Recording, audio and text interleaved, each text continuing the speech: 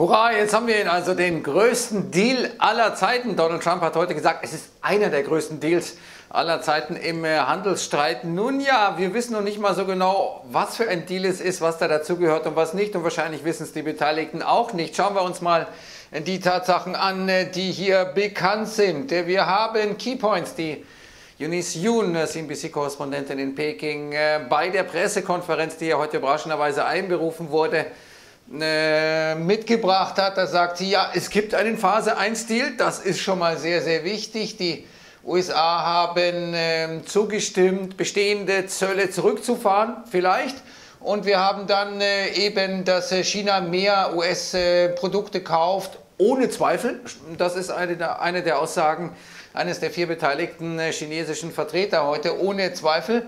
Und wir haben dann Donald Trump, der die Zölle, die jetzt der Wochenende angestanden hätten, abgesagt hat. Und er hat die bestehenden Zölle von 250 Milliarden Dollar, die vor dem September in Kraft getreten waren, die hat er unangetastet gelassen. Die 15 Prozent Zölle auf etwa 150 Milliarden äh, Dollar Importe. Die hat er von 15 auf äh, 7 gesenkt, also halbiert in etwa.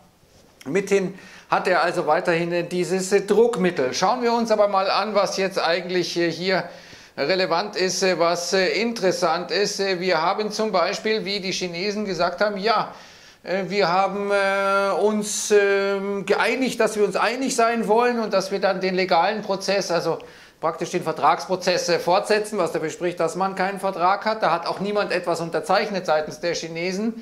Und äh, vor allem, äh, wir werden äh, so die Chinesen Good Quality US Products kaufen. Wir werden gut qualitative Produkte kaufen, so heißt es, nach Marktbedürfnissen, also nichts mit einer Festlegung auf irgendwelche Summe.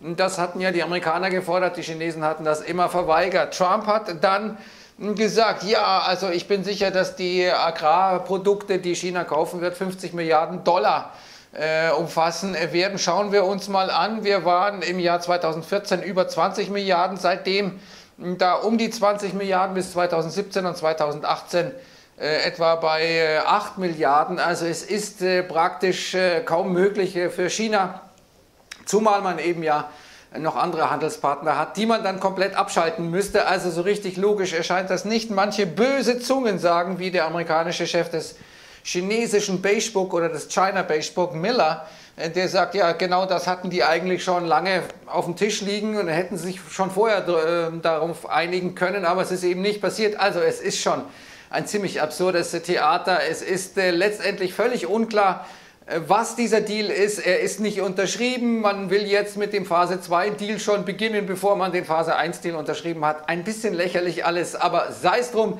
für die Märkte vielleicht erstmal gut. Okay, wir haben jetzt diese neuen Strafzölle nicht, für die Märkte nicht mehr gut, dass man sozusagen diese Hoffnungskarotte wahrscheinlich nicht mehr hat, die ja einen Anstieg nach dem anderen der US-Märkte vor allem ähm, begründen konnte, begründen musste, weil die Algos halt gekauft haben. Äh, jetzt äh, muss man wahrscheinlich äh, komplett andere Gründe finden. Die Frage ist, was jetzt an den Märkten passiert. Werden wir Gewinnmitnahmen sehen? Wird die Rallye weitergehen, weil jetzt diese Unsicherheit weg ist? Das ist die große Frage. Vielleicht noch ein paar interessante Beobachtungen. Zum Beispiel die EZB ist fleißig dabei, auch den amerikanischen Aktienmarkt zu helfen, denn 156 US-Firmen haben Anleihen emittiert in Euro und faktisch kauft die EZB diese Anleihen dieser amerikanischen Unternehmen mit dem Geld, das die amerikanischen Unternehmen dafür einnehmen, kaufen sie dann wieder eigene Aktien zurück. Also ein perfekter Teufelskreis finanziert dank der EZB. Wir sehen, dass wir heute ziemlich schwache Einzelhandelsumsätze gesehen hatten, obwohl der November ja eigentlich mit Thanksgiving ein starker Monat sein sollte. Nur 0,2 Prozent ohne Auto und Benzin wäre es sogar unverändert geblieben. Also das Konsumwunder in den USA ist nicht so wirklich der Fall gewesen. Wir haben äh, interessante Konstellation Gold zur zehnjährigen US-Staatsanleihe. Äh, hier sehen wir, dass äh, Gold auf dem tiefsten äh, Punkt ist in Sachen 90-Day Rolling Correlation, also praktisch ein 90-Tages-Durchschnitt wie noch nie seit den 1970er Jahren.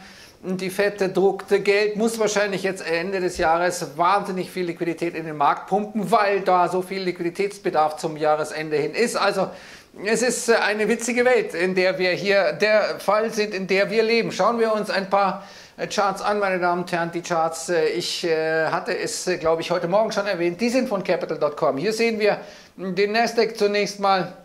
Da ging es runter, als dann irgendwie plötzlich nicht klar war, naja, was kommt da eigentlich? Zunächst ging es runter, weil Trump äh, den Bericht des Wall Street Journal, der gestern ja gekommen ist, äh, und der sagte, die Amerikaner werden 50 Prozent der Zölle äh, streichen. Den hatte Trump per Twitter, per Twitter entschieden zurückgewiesen. Das hat die Märkte ein bisschen verunsichert.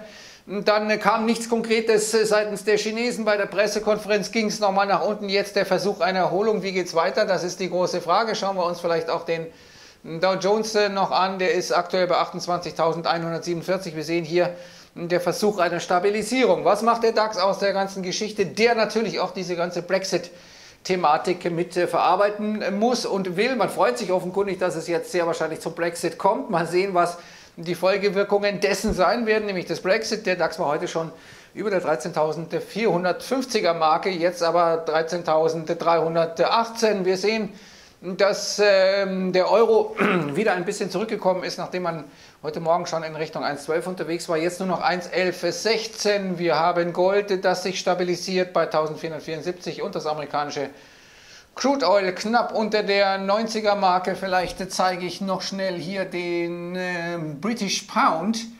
Nachdem äh, Johnson ja gewonnen hat, sehr deutlich gewonnen hat. Hier sehen wir diese Euphorie. 1,35 war das britische Pfund zum Dollar und ist jetzt ein bisschen abgeperlt, kontinuierlich bei 1,33 äh, und 35. Schauen wir mal, wie die Märkte jetzt agieren in der nächsten Woche, wenn die Karotte fehlt.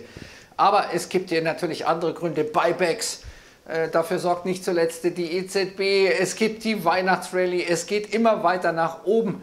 Und äh, das ist natürlich auch gut so. Alle machen sich die Taschen voll. Dass sozusagen die Differenz zwischen der Substanz, die eher schlechter wird, und der Preise, die immer höher werden, ein bisschen merkwürdig erscheint und wir faktisch damit eine immer größere Inflation, eine Entwertung von Geld haben. Das ist äh, auf äh, einem anderen Blatt geschrieben. Ich wünsche jetzt jedenfalls ein schönes Wochenende und sage Servus und